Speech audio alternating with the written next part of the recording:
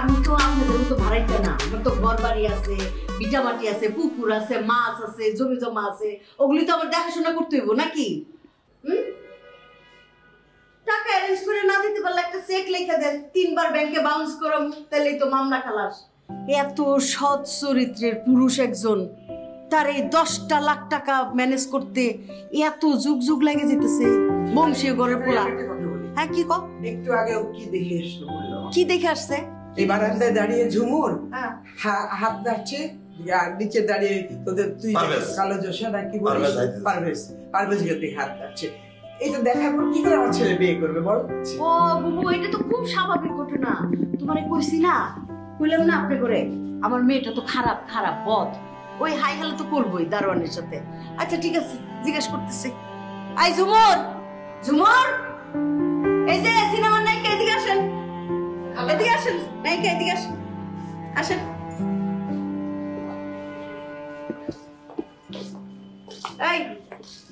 আপনি বলে ওই যে নিচের তলার দারোয়ান বলে আপনারে হাই হ্যালো করতেছিল। কি? না তো। হ্যাঁ? না তো আবার মিশা কথা মিশা কথা কইতে যাস আবার হারাম যদি খালা খালা খালা। কি? কিছু হ্যাঁ হ্যালো বলে নাই। ও এমনিতে বারান্দায় গিয়েছিল। তারপর আমি বারান্দায় গেছি তারপরে ও আমাকে আমাকে দেখে হ্যালো বলেছে। আমাকে দেখে হাই আপনি বলেছে ওকে। তাই নাকি? সত্যি কইতেছো? খালা আমি গিয়েছিলাম। ও এটা মিশা কথা না তো না? আমি মিথ্যা বলি না। আচ্ছা বুবুজান শুনছেন তো হ্যাঁ? পরের মেয়ে বুবু সব সময় বদ চরিত্রের হয় খারাপ হয়। রুমা কিন্তু আমার মেয়ে না হ্যাঁ? তোমার মেয়ে। এই যে শুনছেন? শুনছেন তো না? ভালো করে শুনছেন? ঠিক আছে। তো আমার টাকা পয়সা তাড়াতাড়ি অ্যারেঞ্জ করেন হ্যাঁ?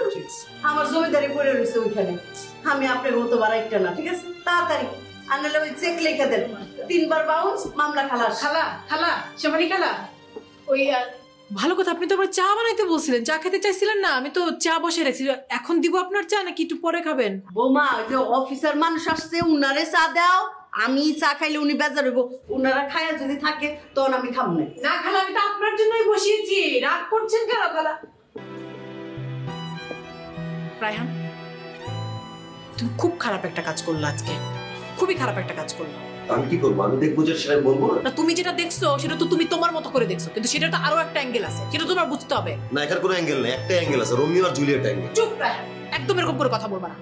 তোমার দিন দিন মানে কি বলছো কার সামনে দাঁড়িয়ে কি বলছো কোনো ইয়ে নাই কন্ট্রোল নাই মুখের। আরেকজনকে অসম্মান করা মানে নিজের সম্মান বাড়ে না। ঠিক আছে তোমরা সম্মান করো। মা দেখো তুমি সবাইকে সম্মান করা শিখো আমার সম্মান মা মা আপনি জান না আপনি এত টেনশন করবেন না হবে কিছু একটা ব্যবস্থা। বৌমা জি এই টোস্ট বিস্কুট দাও চা দাও। হ্যাঁ হ্যাঁ দিচ্ছি দিচ্ছি। দাও মা আপনার চা চাটাও কি এখানে দিয়ে যাব? আমি ঘরে যাচ্ছি ঘরে যাচ্ছি ও উনি আমার সাথে খাবেন না ইজ্জত চলে যাবে। বংশীয় ঘরের মেয়ে তো আমি অন্য বংশের। দাও আমার একলাই দাও আমি একলাই। খাই। খালা আমি এখন চা নিয়ে আসব। আপনি হয় মাকে ডেকে এনে ড্রয়িং রুমে বসিয়ে তারপর দুই বোনে চা খাবেন অথবা সেই চায়ের ট্রে নিয়ে গিয়ে মার ঘরে গিয়ে বসে দুই বোনে মিলে চা খাবেন। আর মাকে যা যা বলেছেন সেটা কীভাবে মাকে ম্যানেজ করবেন আমি জানি না। কেন এগুলো করেন খালা বলেন তো? কি? টোস্ট বিস্কুট আছে দাও তো। দিব। আপনার সাথে আমার কথা আছে।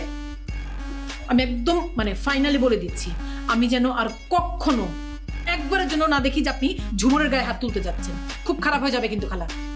এত বড় একটা মেয়ে আপনি সবার সামনে বাড়ির সবার সামনে আপনি ওরা মারেন ওর গায়ে হাত তুলে এটা কি ধরনের কথা খালা? কি এক সমস্যা করলাম। আপনার যদি কোনো কথা বলার থাকে শাসন করার থাকে আপনি মুখে কথা বলেন বুঝিয়ে বলেন একবার না বুঝলে দশবার বলেন আপনি গায়ে হাত তুলবেন কেন?